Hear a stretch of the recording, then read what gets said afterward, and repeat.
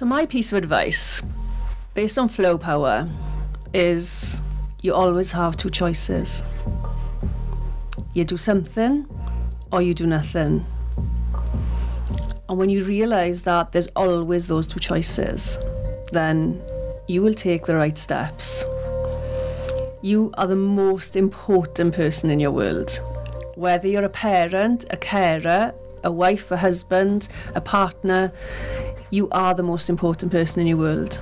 And as you start to make the right decisions for you, you start to affect everybody else's life. What people tend to think is it's selfish. But when you start to realise that you have those options of do something or do nothing, and you start to focus on what do I need in order to be the best version of myself, everybody wins. Everybody wins your children, your parents, your family, your friends, you win. So put yourself first and make those choices.